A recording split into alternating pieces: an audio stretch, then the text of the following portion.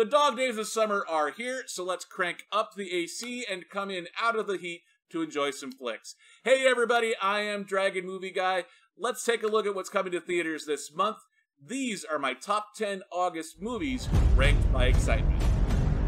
Hey everybody, Dragon Movie Guy here. Summer movie season is my favorite time of year on the big screen, and we have a ton of different flicks to check out this month, so let's take a look at my top 10.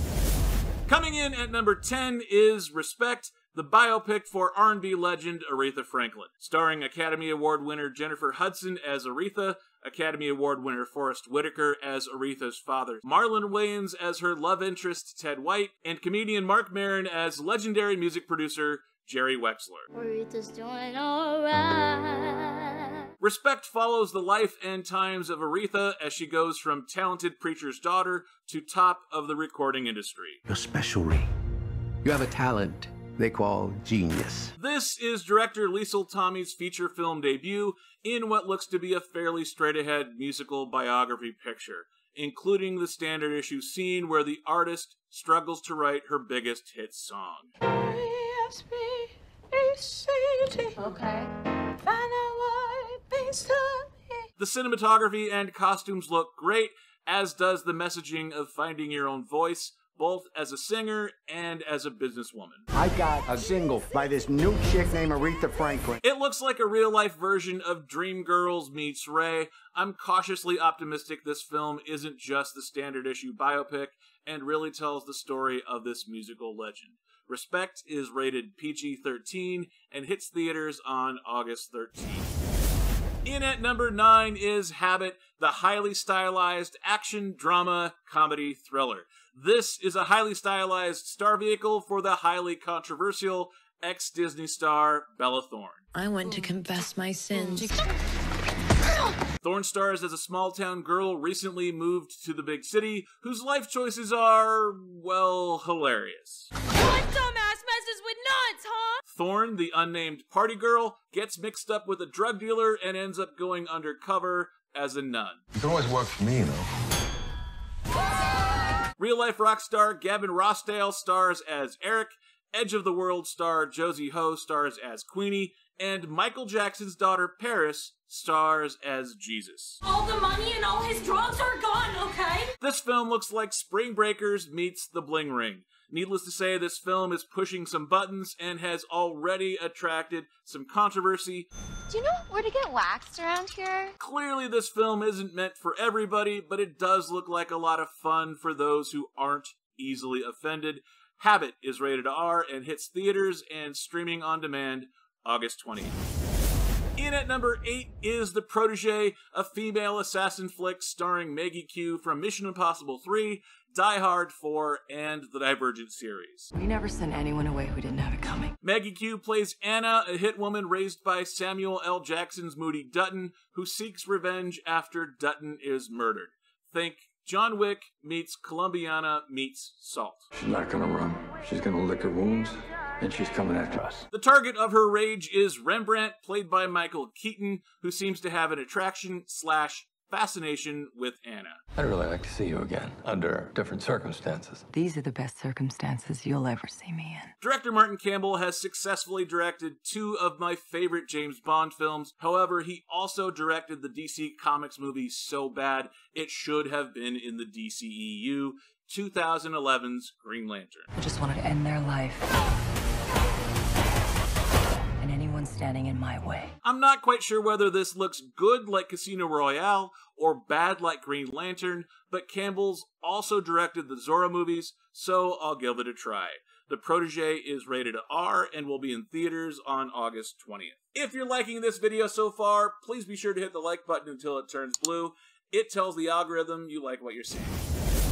In at number seven on my list is Star Wars' John Boyega as an idealistic yet jaded lawyer in Naked Singularity. You have the power to waive a mandatory minimum. Next docket. Boyega plays an American public defender who gets seduced by a beautiful defendant who's in way over her head. Why risk it? I don't want to live my life looking at lost opportunities. But even when Pennywise himself, Bill Skarsgård, enters the picture, he's still a goody two shoes. Why not? Because it's wrong.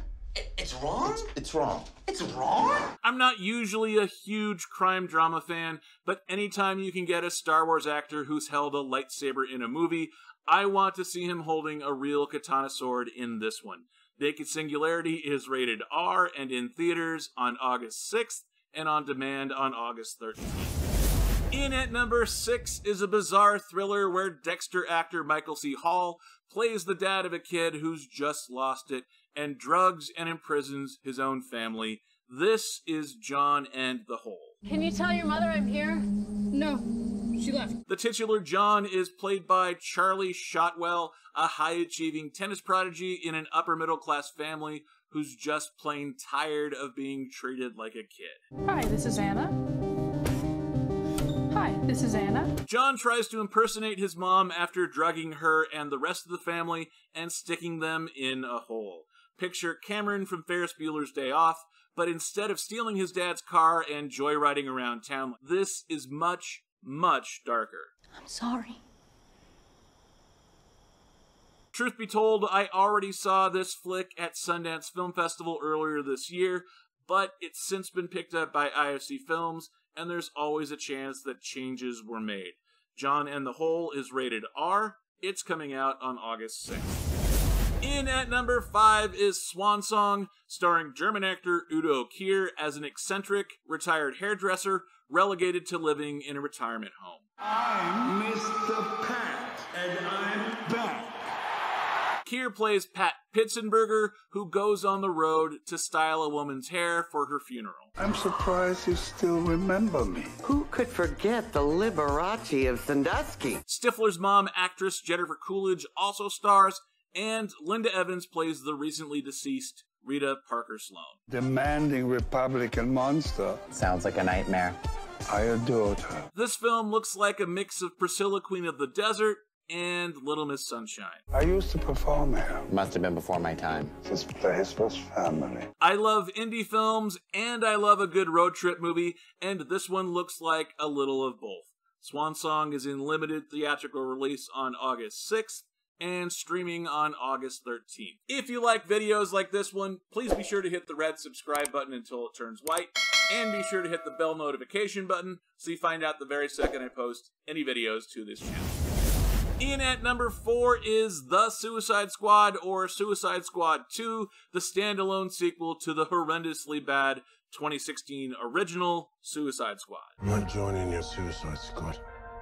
We'll see. Harley Quinn, Amanda Waller, and Colonel Rick Flag return from the original, but most of the rest of the cast are newcomers, along with Guardians of the Galaxy director James Gunn. You're flexing in my door! Everyone stand down. Miss Waller, I don't Stand down! Idris Elba steps in as Bloodsport, along with a ton of B-list actors playing C-list characters. Hey guys, sorry I'm late. Had to go number two.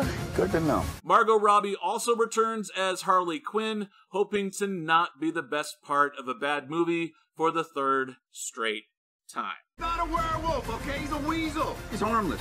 I mean, he's not harmless. He's killed 27 children, but, you know. I'm honestly really torn by this movie. On one hand, James Gunn worked wonders with the Guardians of the Galaxy movies. On the other, this is the DCEU. If this were any other James Gunn movie, it'd be number one on my list. Instead, it's number four. The Suicide Squad is in theaters and streaming on HBO Max August 5th. In at number three is Reminiscence, sci-fi mystery movie all about memory. Nothing is more addictive than the past. Jackman plays Nick Bannister, a private investigator helping his new client, played by Mission Impossible's Rebecca Ferguson, remember what she forgot. Where is she?